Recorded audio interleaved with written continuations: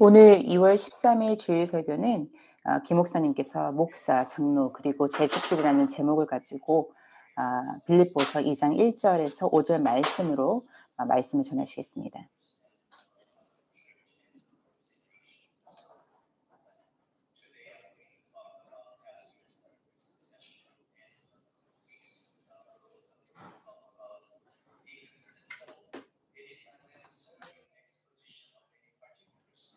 오늘은 목사와 장로 그리고 재직들에 관해서 이야기를 어, 시작하겠습니다. 그 교회에 대해서 더 잘 이해하기 위해서 어, 이 말씀을 준비하였습니다. 그리고 다음 2, 3주간은 또한 이제 그 재직들, 어, 집사들에 관련돼서 또 설교를 어, 나누겠습니다.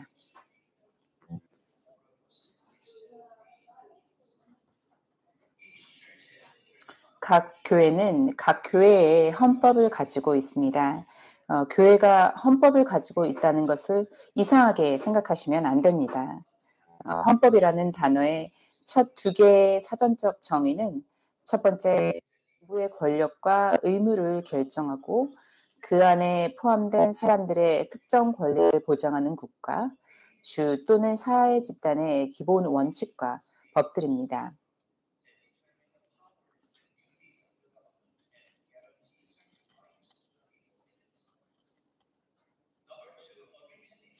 두 번째는 정치 또는 사회 조직의 규칙을 구체화한 서면화된 문서를 뜻합니다.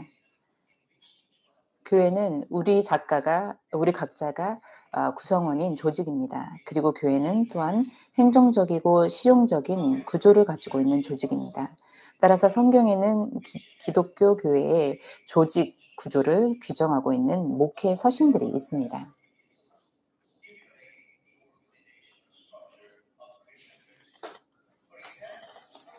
예를 들어 고린도전서 14장 33절에 이렇게 말합니다.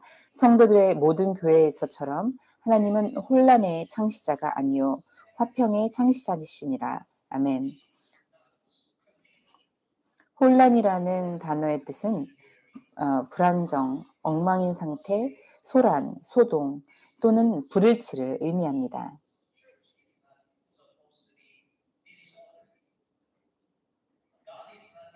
하나님께서는 이러한 것들을 만드시는 분이 아닙니다. 반대로 그분은 화평의 하나님이십니다. 화평이란 단어는 나라 간의 국가적인 평화에서부터 분노와 대혼란으로부터에서 제외되는 것, 그리고 조화와 화합과 같은 개인적인 화평 또는 히브리어 샬롬이 뜻하는 것과 같이 안보, 안전, 번성과 행복을 뜻하는 등의 다양한 의미들을 가지고 있습니다. 그것은 또한 그리스도를 통해 구원을 확신하는 영혼의 평온한 상태를 가리키기도 합니다. 이때 아마도 화평이라는 단어는 혼란의 반대어로 사용되진 것으로 보입니다. 만약 혼란이라는 단어가 무질서와 불일치를 의미한다면 화평이라는 단어는 질서와 조화로움을 의미합니다.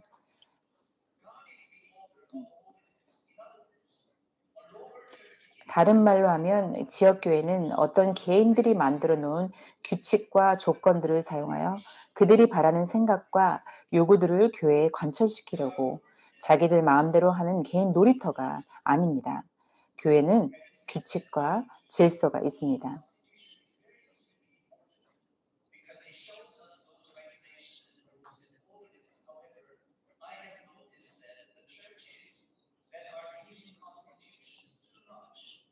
교회의 헌법은 매우 중요합니다. 교회 안에 규칙과 질서가 있다는 것을 아는 것도 중요합니다.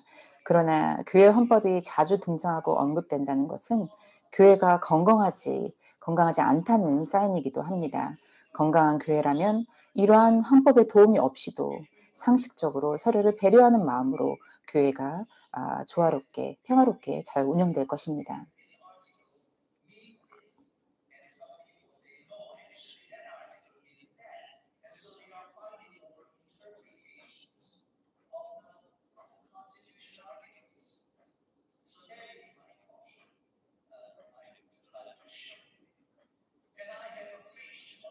저는 디모데전서 3장 15절의 말씀을 가지고 어, 말씀을 전한 적이 몇 차례 있습니다. 디모데전서 3장 15절 말씀을 함께 보겠습니다. 그러나 내가 오랫동안 지체하면 내가 하나님의 집에서 어떻게 처신해야 할지 알게 하려 하노니 이 집은 살아계신 하나님의 교회요 진리의 기둥과 터니라. 아멘.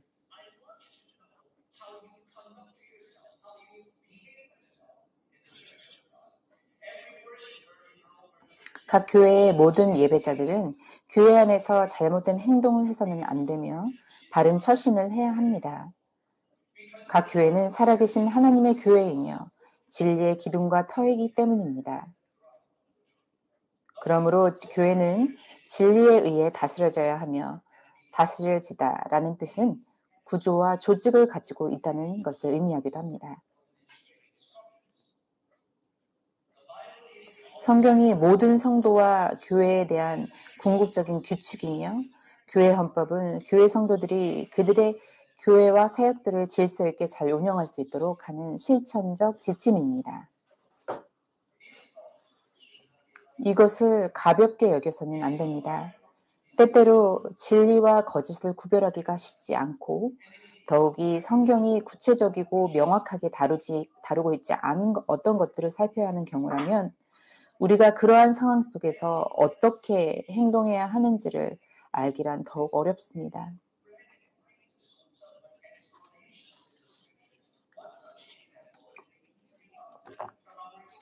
실생활의 많은 상황이 이 범주 안에 포함될 것입니다. 그러한 예들 중 가장 최근의 예가 바로 코비드에 관련된 것일 것입니다. 우리 교회는 12월 26일 예배부터 온라인 예배를 드렸습니다. 어, 일부 다른 교회들은 SA주 정부의 가이드나, 가이드라인을 지키면서도 그들의 교회 예배당을 열어 이 그곳에서 직접 모여서 예배를 드리는 것을 이어간 곳도 있습니다. 이러한 문제는 진리와 거짓에 관한 문제가 아니기에 사람들은 우리가 내린 결정에 관하여 다른 의견들을 가질 수 있습니다. 그렇다면 교회 안에 교인들 사이에서 이러한 종류의 문제들에 대한 의견들이 서로 다를 때 우리는 어떻게 교회를 운영해야 하겠습니까?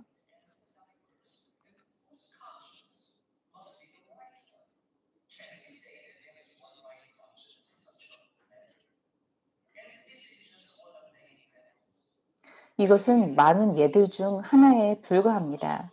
우리가 집사들이나 장로들을 임명할 때 그들은 어, 교인들로부터 얼마나 많은 동의를 받아야 할까요? 그저 단순히 전체 교인의 과반수 이상 혹은 3분의 2 아님 4분의 3 이상의 동의를 받으면 될까요?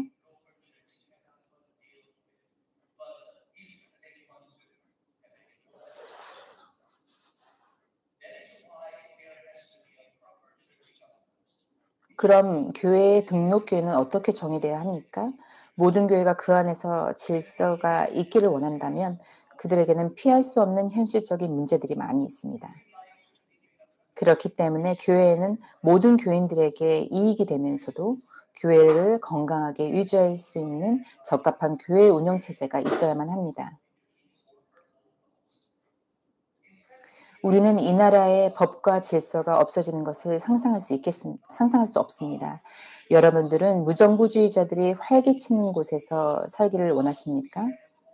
우리는 제멋대로 생각하고 행동하는 사람들만 존재하는 나라에서 행복하게 살 수 있을까요? 우리의 창조주 하나님께서 자신의 피조물들에게 질서와 규칙을 주셨기, 때, 주셨기 때문에 우리는 질서 있게 정돈된 우주를 가지게 되었으며 과학을 가질 수 있었습니다. 만약 모든 것이 혼란 속에 있다면 자연의 법칙과 같은 것은 존재하지 않을 것입니다. 그렇다면 과학 역시 존재할 수 없을 것입니다. 과학은 기본적으로 자연 법칙을 관찰하는 것이기 때문입니다. 교회들은 행정 체제를 가지고 있고 우리 호프 교회는 장로교 행정 체제를 가지고 있습니다. 음, 제대로 된 교회 행정 체제가 없으면 우리는 제대로 된 사역을 할 수 없게 됩니다. 어, 첫 번째 본문 말씀으로 들어가겠습니다. 어, 교회의 정치 체제의 여러 형태들에 대해 한번 살펴보겠습니다. 어, 먼저 교회, 호프 교회는 교회 정치 체제를 가지고 있습니다. 어, 우리 교회 헌법 11조항은 교회 정치 운영에 관한 것입니다. 그것을 인용해 보겠습니다. 11조 1항에 교회의 정치, 행정 및 규율은 이 헌법의 조항과 교회 정치 그리고 성경 장로교회의 교회 질서를 따라야 한다. 단, 본 헌법의 특정 조항이 이를 대체하는 경우는 제외한다. 그리고 11조 2항이 교리, 교회 정치의 원칙, 교회 선거, 교인의 입회 및 징계와 관련된 문제들에 대한 영적 감독권과 교회 행정 정체에 관한 감독권은 장로회, 당회가 가진다.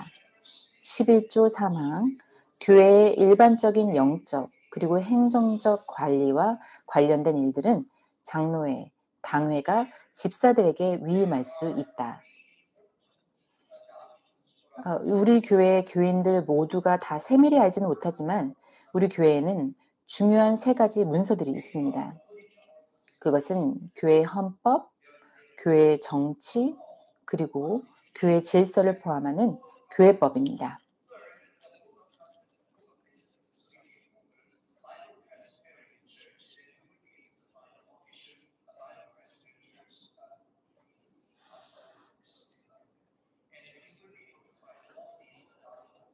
이러한 서류들은 어, 여러분께서 온라인에 가셔서 저희 교회 웹사이트에 들어오시면 모든 것을 어, 찾아보실 수 있으십니다. 이 세 가지 문서들을 너무 강조하지 않는 이유는 우리 교회의 특수한 여건 때문입니다. 일반적으로 장로교회에는 노회와 총회를 아, 교회의 상위 조직으로 두고 있습니다. 저는 이 두 행정 조직에 대하여 길지 않게 간단히 설명하겠습니다.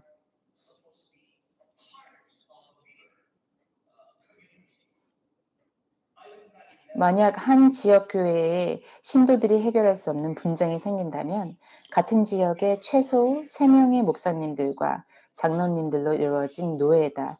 이러한 아, 분쟁을 제기할 수 있습니다. 만약 노예에서 이런 문제를 해결할 수 없다면 그 문제를 상급 기관인 총회에 올릴 수 있습니다. 교리적 분쟁은 이러한 상위 조직인 총회에 상정됩니다.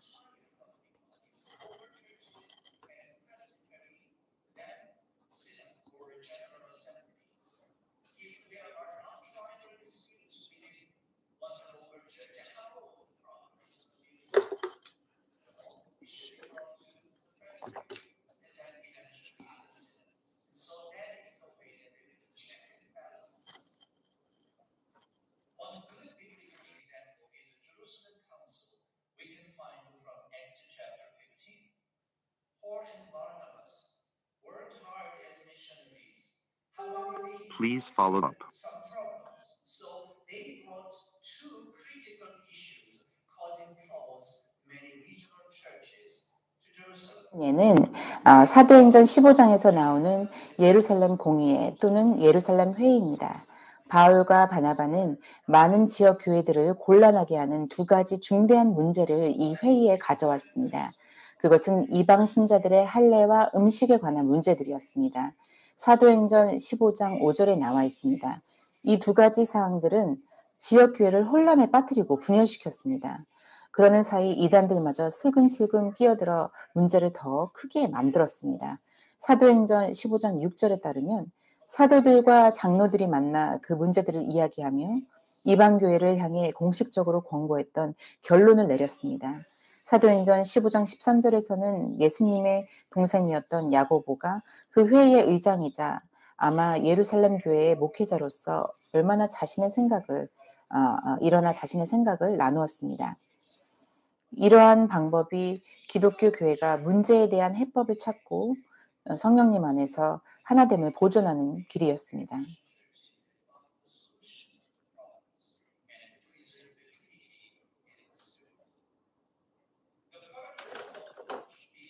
저는 현재 호프교회의 정치 형태에는 부족한 점이 있다고 밖에 말씀을 드릴 수 없습니다. 그것은 우리 호프교회는 장로교회지만 어떠한 상위 노예나 총회라는 기관들을 가지고 있지 않기 때문입니다.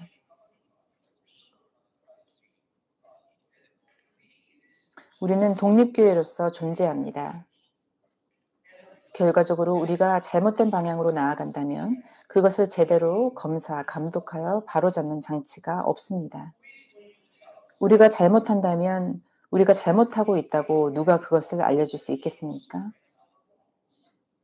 그리고 또 누가 우리의 잘못을 바로잡을 수 있도록 도와줄 수 있겠습니까? 이것은 교회로서 우리에게 매우 심각한 문제들을 제기하고 있습니다. 근본적으로 두 가지 문제점입니다. 교리적 문제는 정말 현실적인 위협입니다. 만약 목회자가 성경에 대한 잘못된 관점과 이해를 가지고 있다거나 잘못된 교리를 들고 우리 교회에 들어온 자들에 대한 어, 도전을 감당할 수 없다고 한다면 우리 교회는 어떻게 되겠습니까?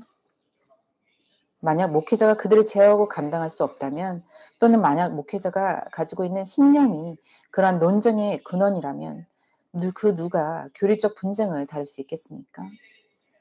우리 교회 위에 상급 감독 기구가 없다는 것은 우리가 잘못된 교리와 거짓 가르침의 물결 속에서 완전히 길을 잃을 수도 있다는 말입니다.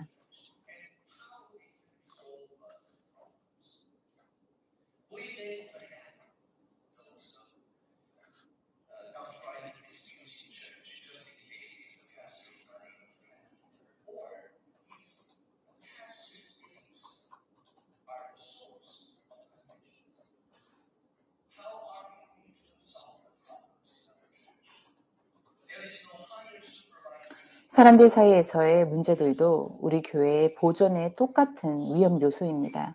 사람들의 갈등은 도처에 널려 있으며 때로는 교회들 역시 예외는 아닙니다.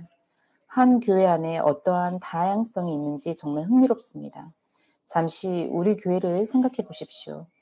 만약 우리가 호프교회 성도님들의 배경을 살펴보면 우리 성도님들이 15개국 이상의 다양한 국적들을 가지고 있다는 것을 알 수 있습니다. 그래서 우리의 생각, 행동, 심지어 말하는 방식이나 방식에는 미세하거나 또는 좀 더 심각한 차이를 보일 수도 있습니다. 또 우리 성도님들은 자기들이 하는 일들을 통해 자신들의 행동, 버릇 또는 관계의 영향을 받아왔습니다. 우리는 우리의 차이와 다양성을 뛰어넘어 교회 안에서의 화합을 이루어야 합니다. 우리의 하나됨이라는 목표를 달성하기 달성하는 과정 위에는 우리의 신념과 안정성을 흔들 만한 장애물과 어려움들이 있습니다.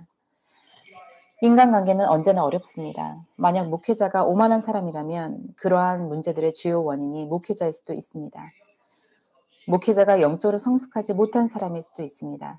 그런 목회자들은 다른 누구의 말도 들으려고 하지 않고 그들의 직책을 사용하여 모든 교인들을 위해, 위, 교인들 위해서 그들을 조정하며 군림하려 될지도 모릅니다. 반대로 성도님들 중 극단적으로 자기 주장이 강하고 독선적인 사람이 있다면 그들이 이렇게 교회를 조정하려 들 수도 있습니다. 그들은 논쟁을 좋아하며 자기의 임무가 모든 이들로 자신의 의견을 따라 모든 것을 바로 세우고 옳게 만드는 것이라고 믿고 있을 것입니다. 대부분의 성도님들은 이러한 사람들과 대립하는 것을 피하고 싶어 합니다. 그러나 그 경우에는 자기의 주장이 강한 사람들은 자신들이 옳기에 모두가 침묵하고 있다고 더욱 확신을 갖게 될 것입니다. 몇몇의 목소리 큰 사람들이 교회 전체를 좌지우지할 수도 있습니다. 교회를 감독할 노예가 없고 어떠한 개인이 교회의 리더들과 해소할 수 없는 갈등을 겪을 때 교회는 내적 분쟁을 겪을 수밖에 없습니다. 그리 얼마 전에도 우리는 다른 여러 교회들에서 이 같은 일들이 벌어졌던 것을 알고 있습니다.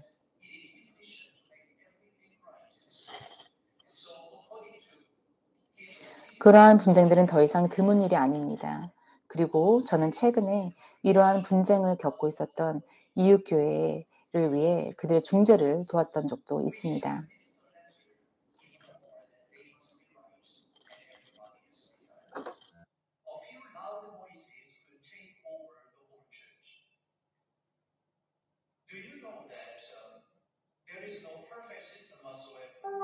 Please up. Please follow up. Keep such problems from happening, at least in our constitution, there are two things. articulated. And one of them is pastor's retirement age. Please follow up. Please follow up. Please follow up. Please follow up.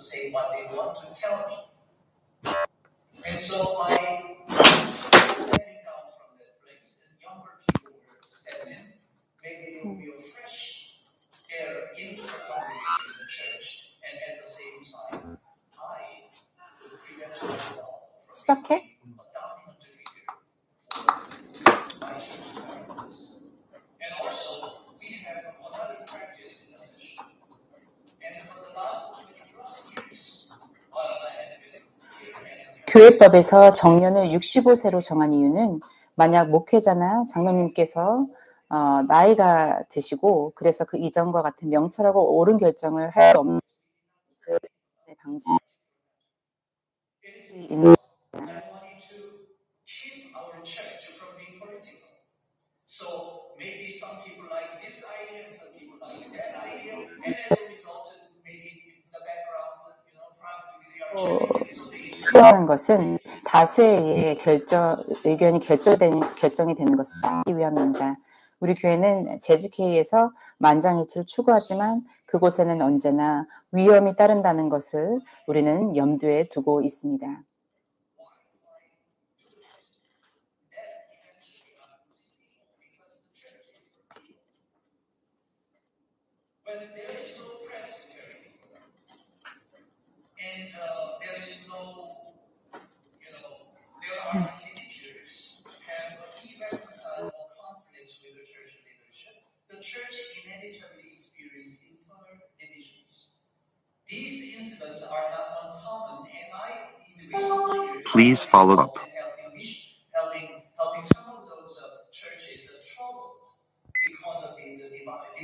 And, and uh, internal problems.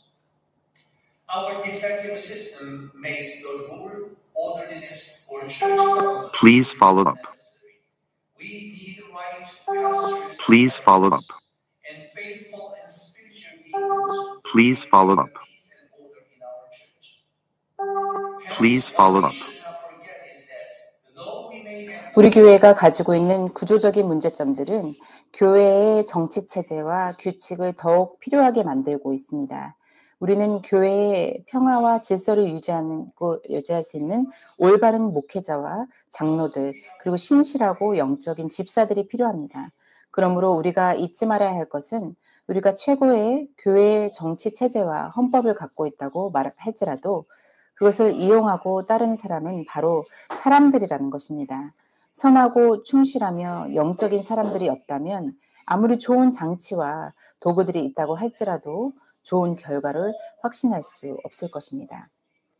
the spirit of the scriptures with all the good times they belong.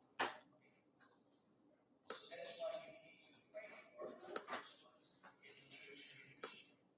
Second, the BP church is a form of government. 두 번째로 Chapter 4 is 교회 성경 장로교회의 교회 정치법 제6장은 교회 정치에 관한 것입니다. 제1조 섭리하시는 전능하신 하나님께서는 그분의 교회의 다른 여러 부분들이 다양한 방법으로 관리되는 것을 허락하셨습니다. 그리고 하나님께서는 각기 다른 방식으로 관리되어지는 지체들을 그분의 열매를 맺는 기- 가, 가지들로 여기시며 축복하셨습니다. 이러한 사실에 대해 기뻐하며 다른 지체들에 대한 더 이상의 숙고함이 없이 우리는 장로들에 의한 교회 정치 체제가 하나님의 말씀과 초대 그리스도인의 관행에 근거하고 있고 합당하다는 것을 믿으며 그리고 가장 적절한 방편이라 믿습니다. 여러 교회 아, 여러 형태의 교회 정치는 장로교, 성공회, 회중교회 등이 있습니다.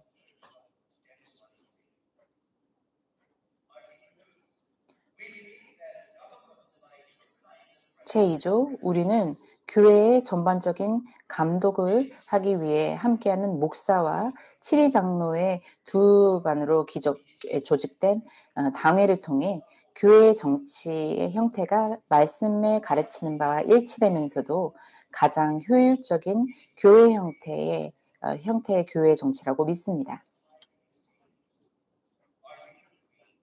세 번째 제3, 제3조에는 우리의 신앙 고백에 명시된 총회들과 공회들이 하나님을 말씀에 근거하고 어, 동의된 것을 믿으며 더 나아가 성경적으로 행해질 때 그러한 교회 정치의 체제들이 그리스도의 양떼의 신앙과 삶에 도움을 준다고 믿으며 우리는 오직 장로들만으로 구성된 당회, 노회, 그리고 총회로 하여금 우리 교회의 영적 관리를 할 수 있는 권한을 부여합니다. 어, 슬프게도 우리 교회는 상위 조직인 노회와 총회를 가지고 있지 않습니다.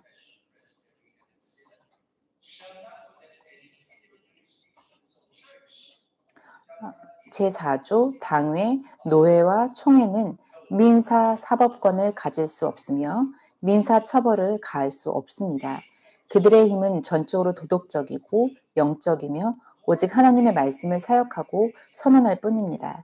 그들은 그리스도의 명령에 순종할 것을 요구하고 그들을 반하고 거역하는 자들을 교회의 특권으로부터 제외시킬 권리를 가지고 있지만 이것은 교회 헌법에 의거하여 특별히 허가된 정도의 하나입니다.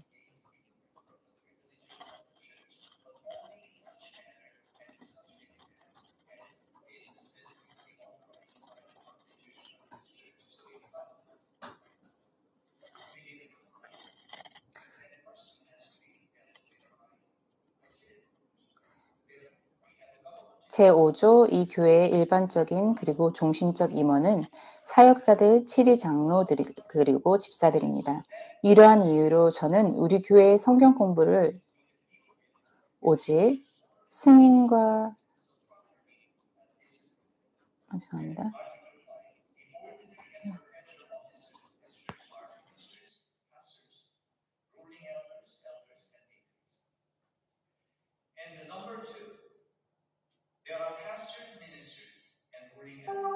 Please follow up. 두 번째 목회자, 사역자, 그리고 7위 장로가 있습니다. 첫 번째로 교회 정치법 5장에는 사역자들에 관해 언급하고 있습니다. 교회 사역자의 직책, 직책은 존엄성과 유용성 면에서 교회 안에서 첫째가 됩니다. 그 직분을 맡은 사람은 성경에서 자신의 다양한 인물을 나타내는 여러 이름을 얻었습니다. 그는 예, 그리스도의 양떼를 돌보기 때문에 감독자라고 불립니다. 또한 그들에게 영적인 양식을 먹이기에 그는 목자라고도 불립니다. 그는 교회에서 그리스도를 섬기면서 사역자라고 불립니다. 그는 신중하고 우직해야 하며 양떼의 본보기가 되는 것과 그리스도의 집과 나라를 잘 치리해야 하는 것이 의무이기에 그를 장로라고 부릅니다. 그는 죄인들에게 하나님의 뜻을 선포하고 그리스도를 통하여 하나님과 화목하도록 간구하기 위해 보냄을 받았기에 그는 사신이라고 부릅니다. 그리고 그가 하나님의 커다란 은혜와 그리스도께서 세우신 윤례를 향하니 하나님의 신비를 지키는 사람이라 하고 겸손하게는 하나님의 복음에서 갈라져 나온 그리스도의 종이라고도 불립니다.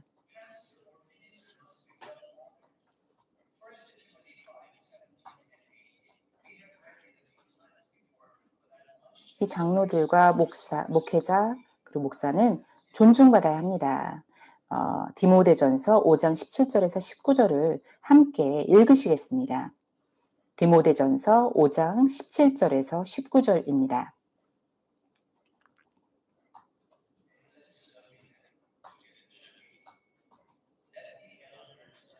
17절 잘 다스리는 장로들을 배나 존경할 자로 알되 말씀과 가르침에 수고하는 이들을 더할 것이니라.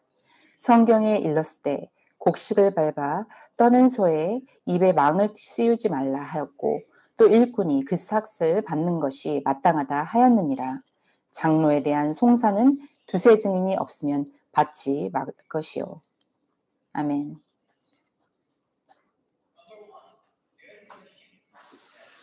장로에는 두 종류의 장로가 있음을 암시해주고 있습니다. 바로 칠위 장로와 말씀을 전하고 가르치는 목사 사역자입니다.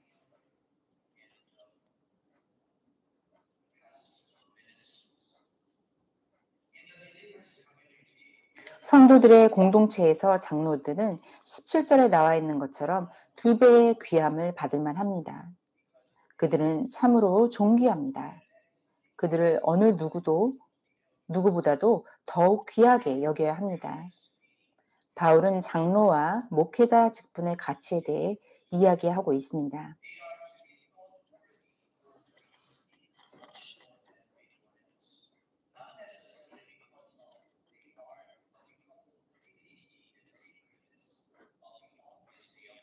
(18절에서는) 목회자들에게 재정적 지원을 해야 할 교회의 의무에 대해 말하고 있습니다.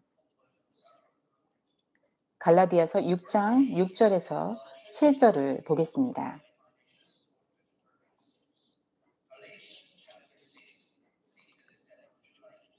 함께 갈라디아서 6장 6절에서 7절을 읽어보시겠습니다.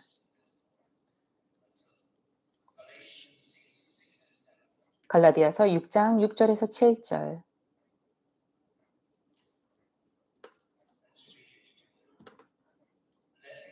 말씀 안에서 가르침을 받는 자는 가르치는 자와 함께 모든 좋은 것을 나눌지니라.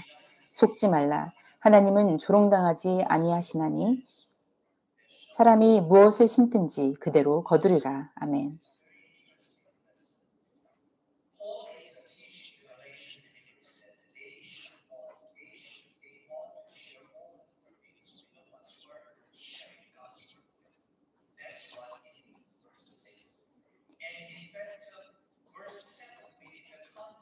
여기서 바울은 아, 말씀 안에서 가르침을 받는 자는 가르치는 자와 함께 모든 좋은 것을 나누라고 말하고 있습니다. 돈과 관련된 일로 목사를 업신여기거나 모욕하지 마시기 바랍니다. 만약 여러분이 하나님의 말씀에 순종한다면 모든 좋은 것을 여러분의 목회자들과 나눌 수 있어야 합니다. 저의 후임 목사는 아, 목사님은 저보다 더 젊을 것입니다. 그리고 어린 자녀들을 두었을 수도 있습니다. 그들의 필요를 헤아리고 좋은 것들을 나누시기를 바랍니다. 이것은 성경에서 말하는 우리의 의무입니다.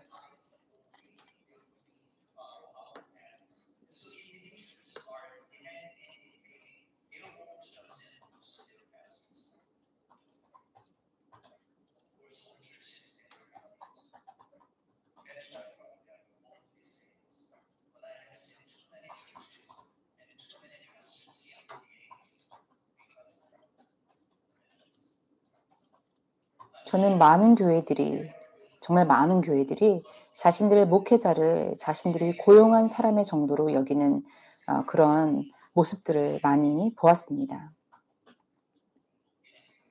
그리고 자신들의 입맛에 맞게 그 목회자를 어, 조정하려고 하는 것을 보았습니다.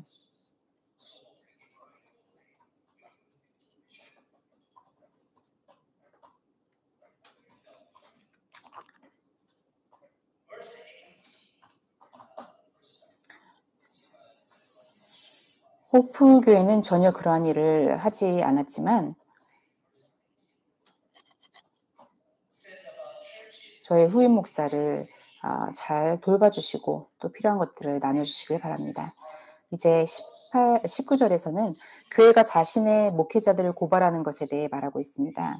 만약 누군가 목회자를 고발할 경우 반드시 두세 명의 증인을 데리고 나와 사건을 교회에서 세운 법정으로 가져가야 합니다.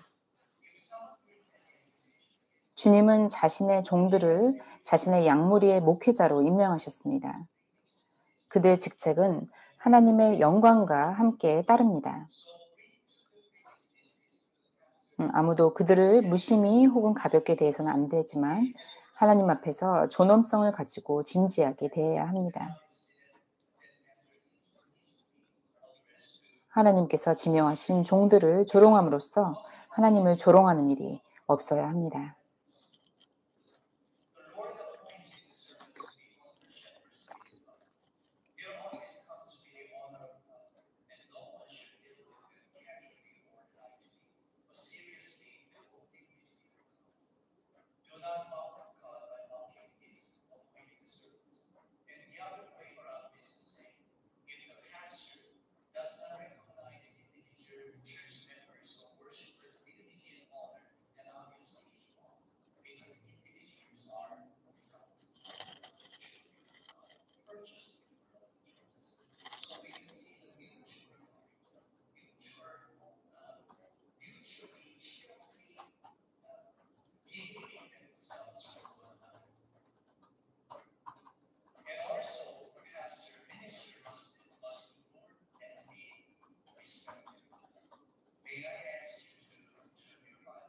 목회자는 교회를 이끌며 존중받아야 합니다.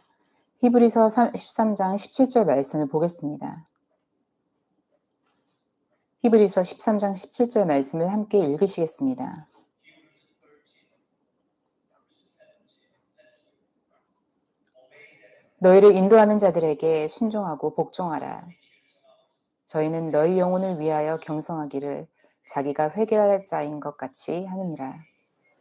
저희로 하여금 즐거움으로 이것을 하게 하고 근심으로 하게 말라. 그렇지 않으면 너희에게 유익이 없느니라. 또 흥정역에서는 이렇게 번역합니다. 너희를 다스리는 자들에게 순종하고 복종하라. 그들은 마치 자기가 회개보고 할 것- 자인 것 같이 너희 혼을 위해 깨어 있나니 그들이 기쁨으로 그것을 하게 하고 근심으로 하게 하지 말라. 그것은 너희에게 유익을 주지 못하느니라. 하나님께서 정하신 인도자들에게 복종하셔야 합니다. 그들은 하- 그들로 하여금 근심이 아닌 기쁨으로 사역할 수 있게 해야 합니다. 주님께서 이렇게 권고하신 이유가 참 흥미롭습니다. 17절 마지막 부분에 그렇지 않으면 너희에게 유익이 없느니라 라고 말씀하고 계십니다. NIV 번역본에서는 너희에게 이익이 되지 못하기 때문이라 라고 번역되었습니다. The NIV reads it as, for that would be of no benefit. 하나님께서 정하신 인조, 인도자들에게 순종하고 복종하시기를 바랍니다.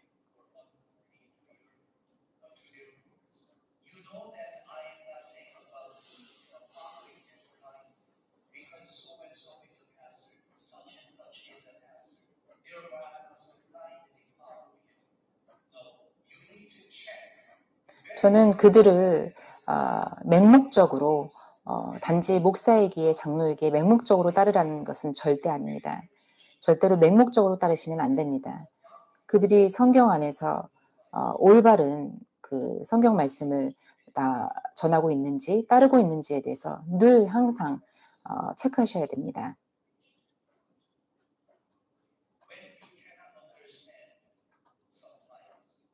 그들이 전하는 말씀이 어, 성경과 어, 성경 안에 성경의 진리를 어, 따르고 있는지를 반드시 확인하셔야 합니다.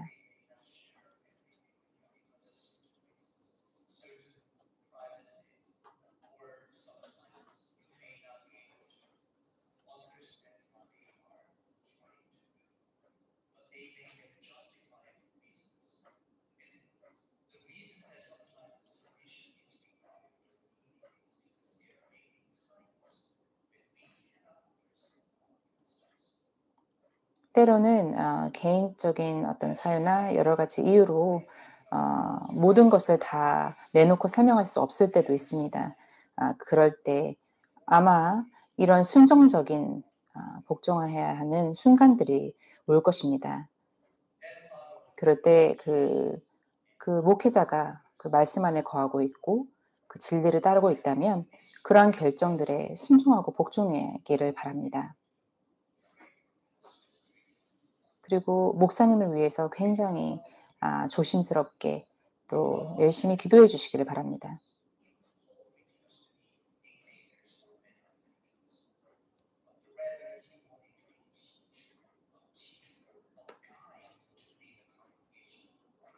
바울 역시 아, 독재자가 되는 것을 원치 않았습니다.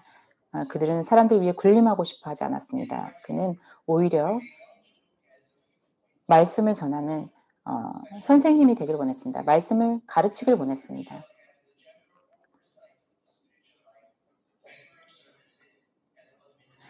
그 호프교회의 헌법 제14조는 목회자에 대해 설명하고 있습니다.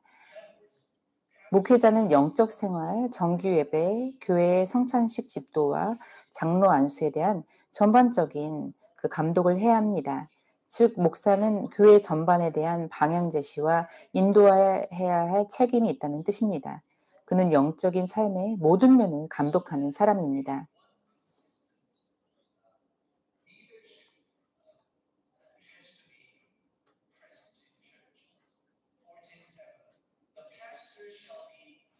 어, 14-7 목사는 교회와 관련된 모든 임원회에서 직권을 가진 구성원이자 고문이 됩니다.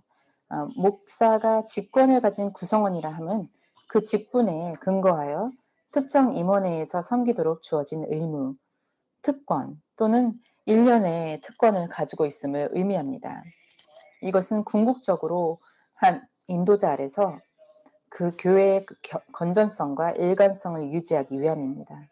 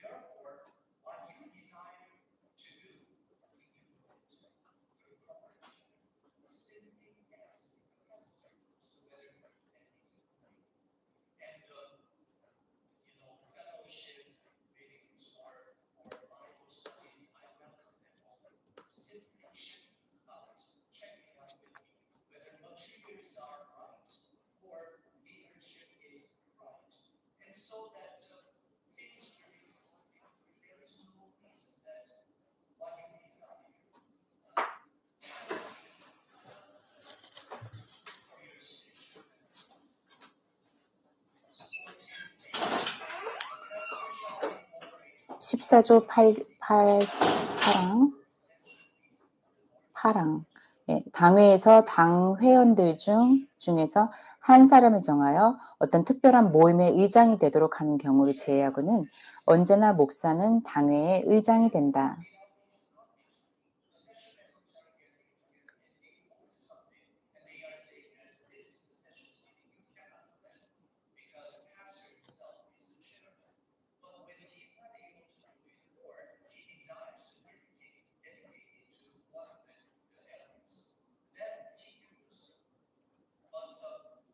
만약 당회 의장이 아, 아, 목사가 당의 의장으로서 역할을 할 수 없는 상황이거나 아, 목사가 다른 일을 아, 지목했을 경우에 아, 그분이 당의 의장이 될 수 있습니다.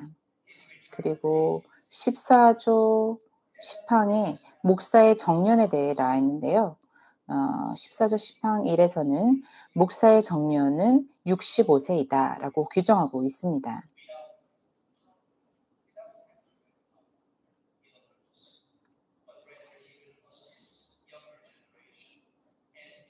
이러한 어, 은퇴한 목사님들은 어, 어, 젊은 현직의 목사들을 도울 것입니다.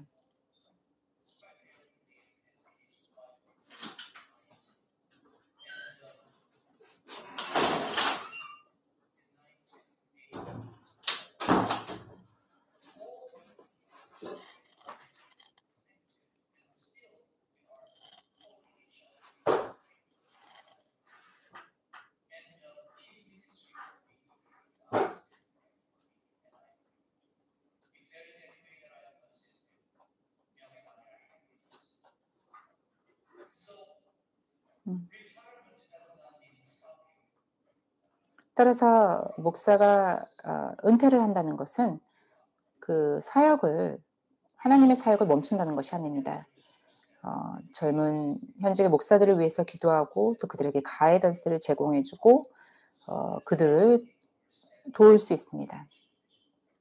그리고 더 젊은 사람들을 그, 그 리더십 자리에 어, 올 수 있도록 양보하는 것이기도 합니다. because he served pastor in, in wonderful churches until the Roman Catholic and so there was no proper succession. And as a church, this is the church is very hard. So just to make sure and, and to be whether by force or 제가 이러한 아, 사항을 말씀드리는 이유는 많은 교회들이 아, 기존의 목사님이 어, 나이가 들어가시고 은퇴할 나이가 되었음에도 어, 적당한 그 그들을 이어줄 수 있는 젊은 목사들이 준비되어 있지 않아서 어, 교회가 방황하고 힘들어하는 교회들을 많이 보았습니다. 제 14조 10항 2에서 호흡교회는 은퇴한 목회자들을 최대한 돕고 지원할 것입니다.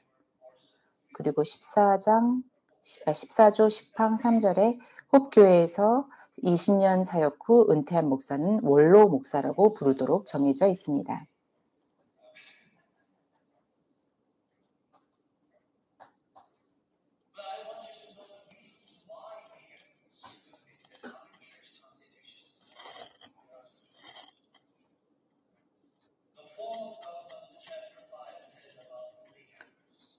둘째로 교회 7위법 5장의 7위 장로에 대해 언급하고 있습니다.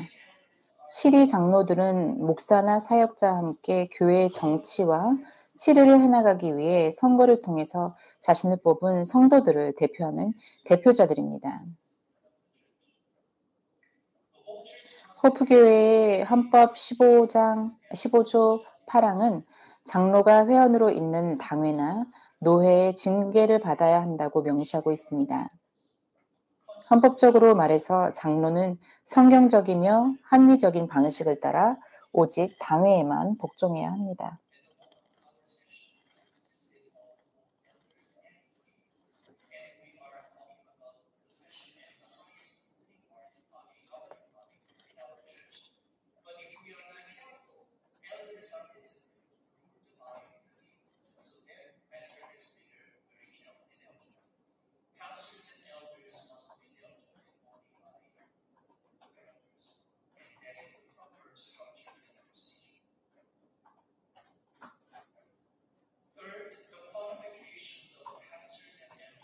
우리 교회는 구조상 당회와 집사들로 재직회가 구조 구성되어 있습니다.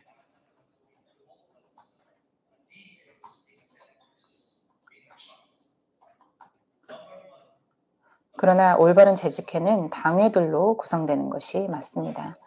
아, 셋째로 목회자 장로의 자격은 디모데전서 3장 1절에서 7절과 디도서 1장 6절에서 9절의 말씀에 잘 설명되어져 있습니다. 목사는 좋은 인품을 지녀야만 합니다.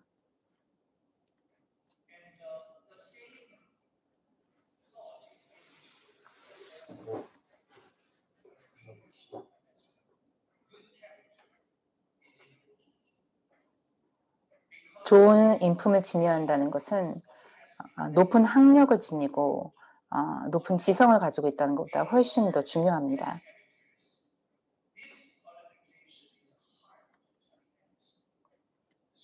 좋은 인품을 가졌다는 것을 아, 그런 성품을 만나는 것은 굉장히 어렵습니다.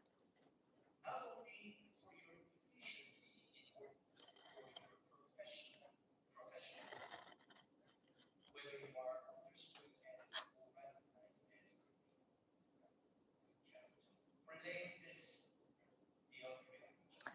목사는 좋은 인품을 지녀야만 합니다. 그는 흠이 없고 책망할 수 없는 사람이어야 합니다.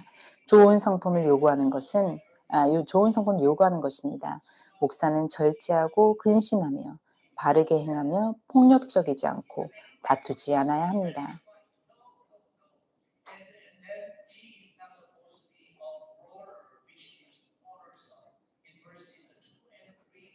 2절에서 3절에 장로의 주된 덕목은 선한 인격이라고 말하고 있습니다.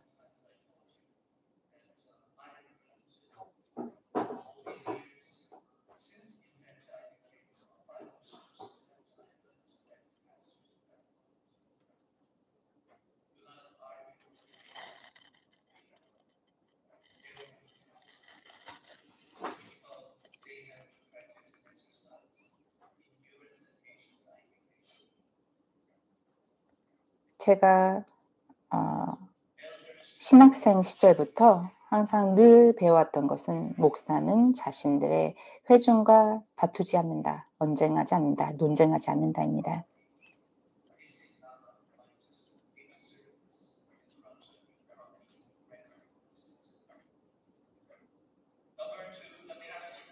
목회자는 가정을 올바로 이끌어야 합니다. 자녀는 부모에게 순종해야 합니다. 그것은 그 자신이 부모에게 효도해야 한다는 의미도 담겨 있습니다. 그렇지 않으면 어떻게 자녀들에게 순종하라고 가르칠 수 있겠습니까?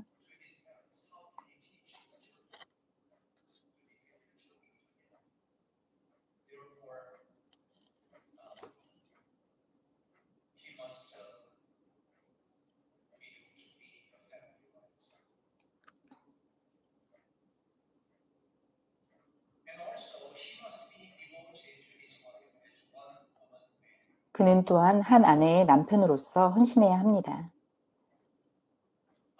이것은 단순히 결혼 생활에 대한 신실함 뿐만 아니라 아내와 좋은 관계를 유지하는 것을 뜻합니다.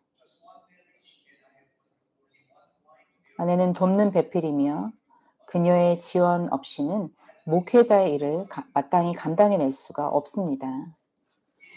아내는 남편의 생활 방식과 타인과의 관계에 큰 영향을 미칩니다.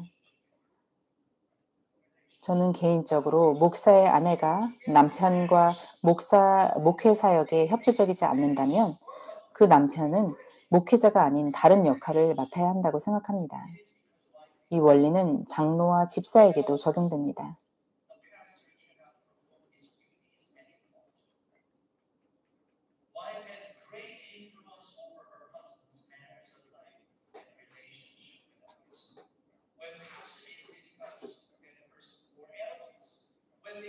Discouraged. Wives are coming alongside with them and they are encouraging them.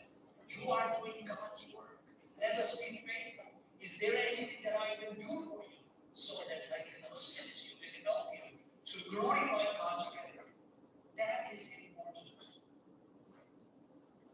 목사나 장로가 어, 교회 일로 어, 어려운 상에 처했을 때그 안에는 어, 그 목사 장, 장로를 격려하며 또 도, 도울 일에 대해서 함께 도울 수 있고 또 기도할 수 있고 그래서 하나님께 영광을 돌릴 수 있는 그런 사역을 계속해서 어, 나갈 수 있도록 또 힘이 되어줘야 합니다.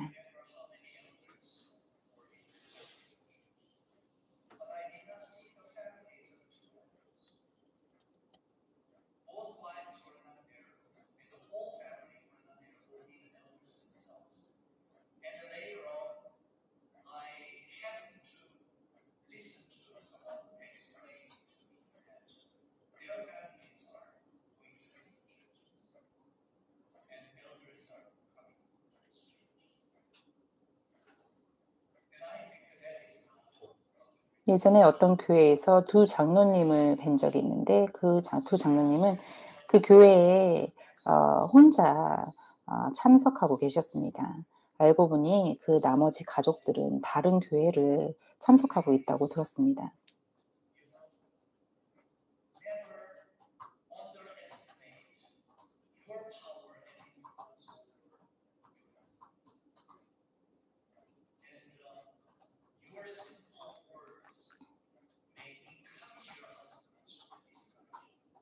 아내들은 자신들이 남편의 어떤 생활 방식과 타인과의 관계에 얼마나 큰 영향을 미칠 수 있는지를 이해하고 또 어, 남편에게 전하는 말이나 어떤 그런 어, 어, 지원하는 부분들이 격려하고 또 어, 지지해 주시기를 바랍니다.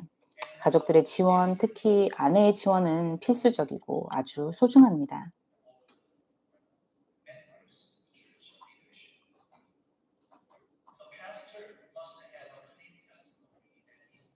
목회자는 욕심이 있거나 탐욕, 탐욕스럽지 않아야 합니다. 목회자, 목사는 초신자가 아니어야 합니다. 이제 넷째로 호프교회 헌법 제 18조에는 당회의 권한과 책임에 관해 설명합니다. 이것은 헌법 제11조에 따라 당회는 18조 1항 교회의 영적 복지와 사역을 책임진다. 그러므로 모든 사역은 승인을 구해야 합니다. 18조 2항 모든 공공 예배와 설교, 선찬식 집례, 어, 성경 공부, 기도회, 어, 특별 회의 그리고 믿음 안에서 그리스도인을 세우고 잃어버린 자들에게 그리스도와 복음을 전하기 위한 노- 모든 노력을 감독합니다.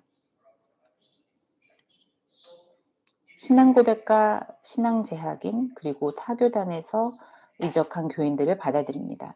교회 직원과 사무 직원들이 필요한 경우 임명하기도 합니다.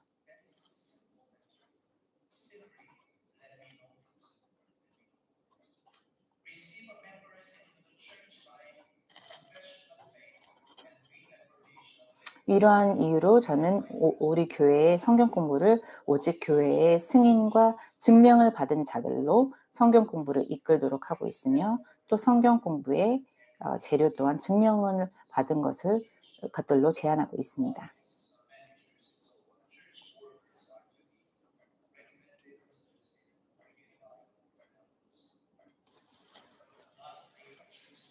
이제 마지막 본문 말씀 교회 당회에 대해서 나누겠습니다.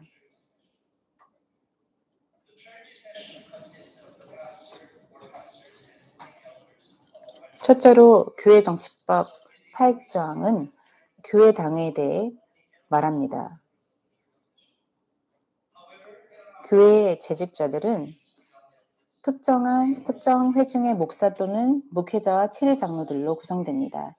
원래 교회의 정치 제도에 따르자면 당회가 오직 장로들만으로 구성되어져 있었습니다. 그러나 장로들이 없는 작은 교회들이 있고 그들 또한 지도자 그룹을 가질 필요가 있습니다. 그러한 교회 회중들을 위해 점차적으로 집사들이 들어와 넓은 의미의 당회를 구성하게 되었습니다.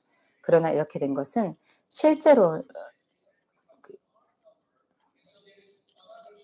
실제로는 재직회입니다.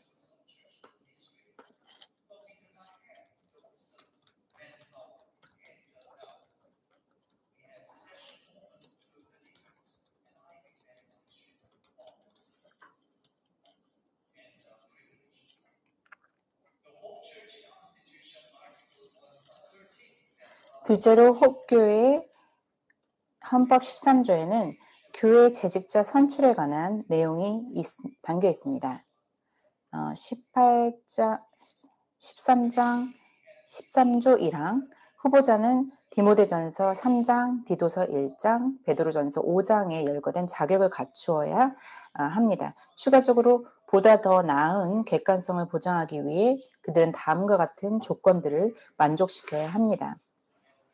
음, 13조 1항의 1호 합리적인 의심을 넘어 충분한 기간 동안 그들이 그리스도의 교회의 성숙한 구성원이며 개인적인 기도와 말씀 공부에 충실히 헌신한다는 것을 입증해야 합니다.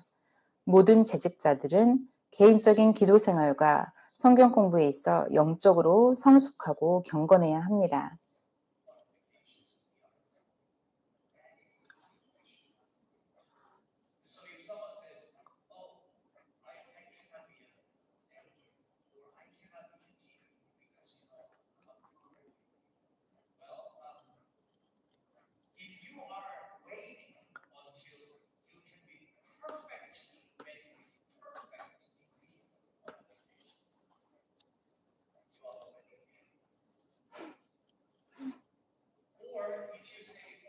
때로는 아, 어떤 장로님의 역할을 이렇게 해달라고 어떤 그런 제안이 들어왔을 때 그분들은 자신들은 그거를 감당할 만한 어, 그 위치에 있지 않다. 그걸 그런 조건들을 충족시키지 못한다라고 어, 말합니다. 근데 이러한 조건들을 모두 갖추는 것이 맞지만 그런 조건들을 모두 갖췄다면 우리는 아마도 어, 천국에 있을 것입니다. 이런 조건들을 네, 모두 갖춘 사람들을 찾는 것은 참으로 어려운 일입니다. 13조 1항 2조 그렇지 못할 타당한 사유가 있지 않는 한 정기적으로 교회의 공공 예배와 그리고 기도 기도에 참석해야 합니다. 13조 1항 3, 3호에는 교회의 헌법을 주의 깊게 연구하라고 말하며 특별히 성경적 분리의 원칙과 행함에 대해 알며 전적으로 받아들여야 합니다.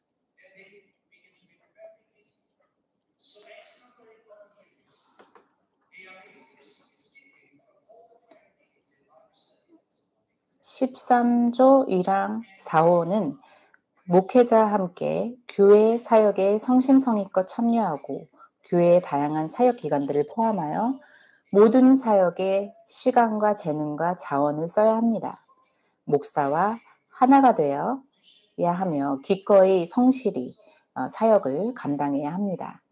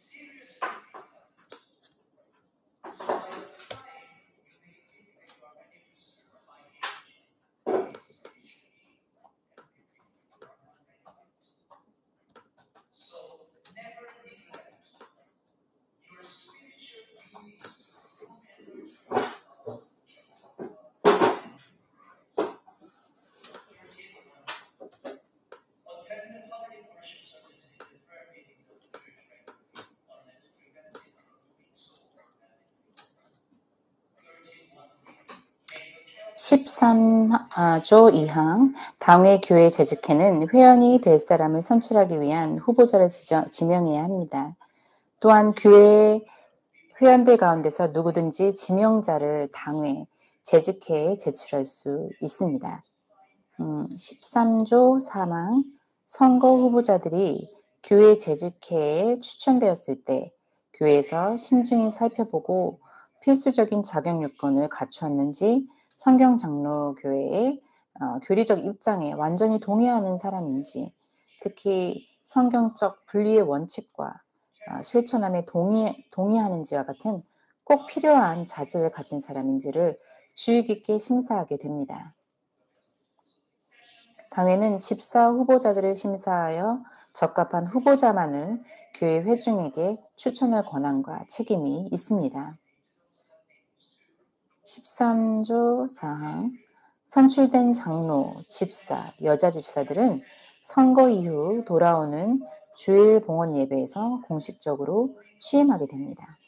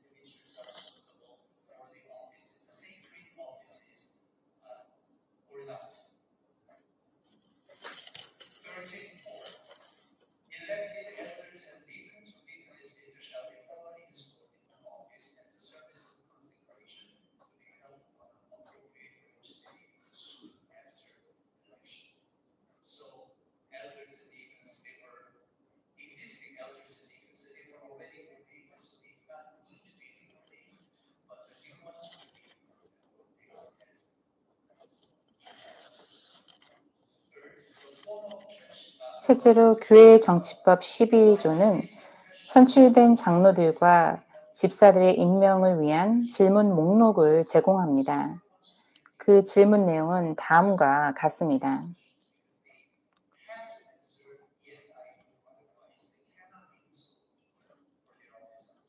다음과 같은 질문에 모두 어, 그렇습니다. 예, 그렇습니다라고 답을 해야만이 그 집사와 장로로 선출될 수 있습니다.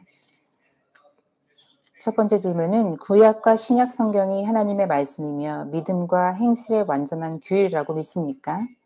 두 번째는 당신은 이 교회의 신앙 고백과 교리 문답을 성경이 가르치는 교회 체계를 교리 체계를 담고 있는 것으로 진심으로 받아들이고 채택하십니까? 세 번째는 성경 장로의 교회 정치법과 교회 질서법을 찬성하십니까? 네 번째로 당신은 이 교회에서 7위 장로 혹은 집사의 직분을 받아들이고 그 모든 직무를 성실히 수행할 것을 약속하십니까? 다섯 번째로 교회의 순결과 평화와 통합을 살필 것을 약속하십니까? 입니다.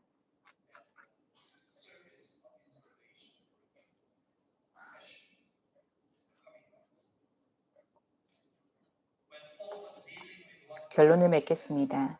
바울이 교, 고린도의 성도들을 위한 한 가지 특별한 가르침을 다루면서 고린도전서 11장 16절에서 그는 이렇게 말을 마쳤습니다.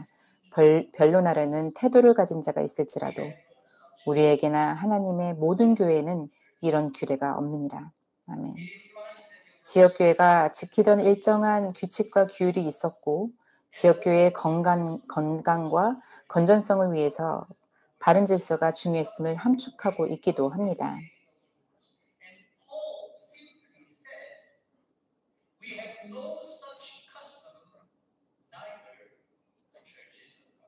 이에 대해 바울은 우리에게나 하나님의 모든 교회는 이런 규례가 없느니라라고 정확하게 말했습니다.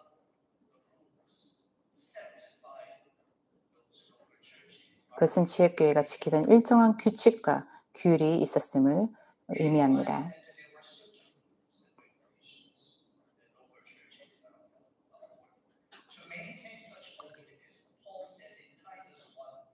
또한 디도서 1장 5절에서 바울은 이렇게 말합니다. 내가 너를 그레데에 떨어뜨려 둔 이유는 부족한 일을 바로잡고 나의 명한대로 각 성에 장로들을 세우게 하려 함이니. 아멘.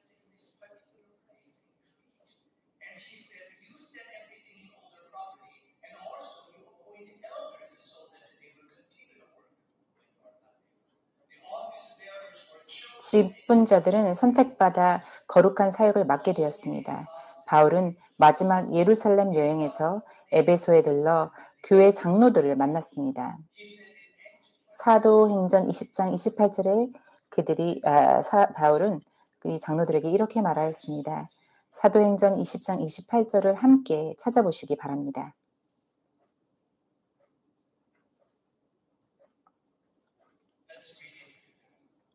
함께 읽겠습니다.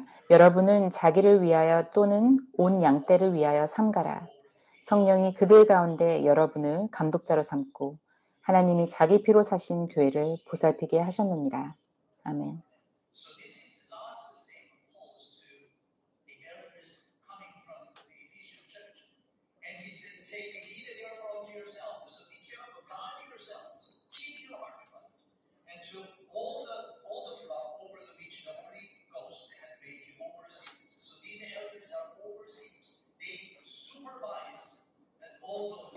주님은 장로들을 임명하여 감독이 되게 하고 하나님의 교회를 먹이게 하셨습니다.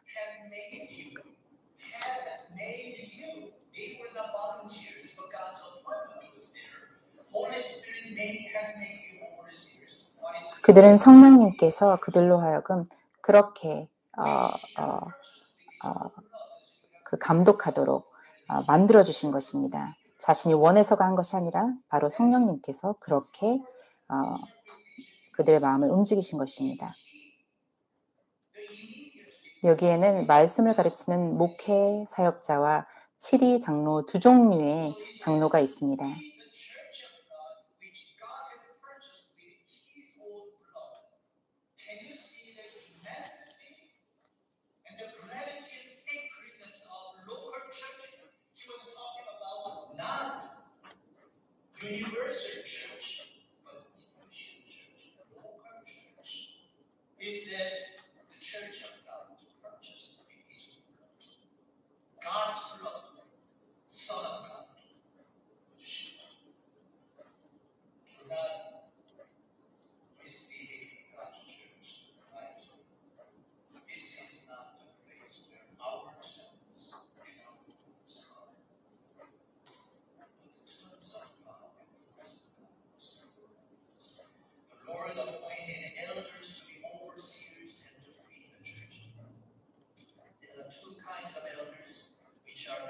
여기에는 말씀을 가리키는 목회 장, 사역자와 치리 장로 두 종류의 장로가 있습니다.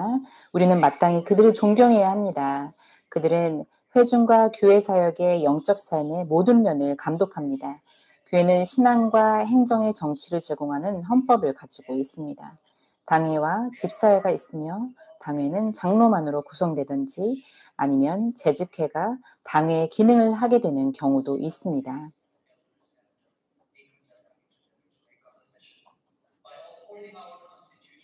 우리는 교회 헌법과 행정을 지킴으로 질서 있는 그리고 하나된 공동체를 만들어갈 수 있습니다.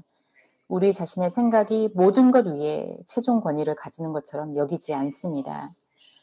우리는 교회 헌법과 지정된 지도, 지도자들에게 순종함으로 그리스도의 몸인 교회를 성숙하게 세울 수 있는 법을 배우게 됩니다.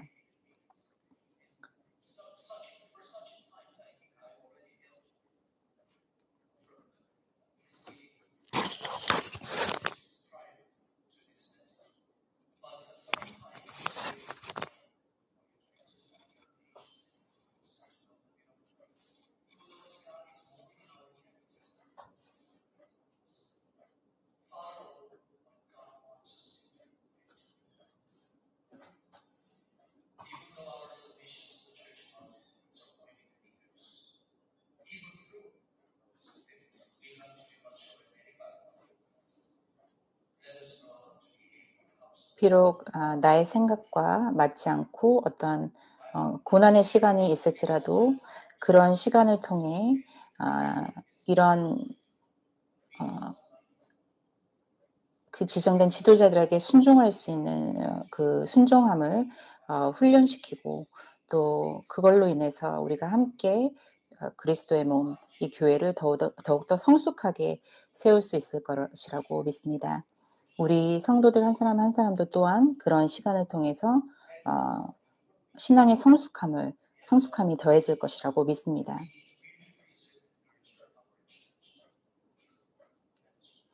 우리는 진리의 터전이자 기둥이신 하나님의 집에서 어떻게 행동해야 하는지를 잘 알아야 합니다. 이제 기도하겠습니다.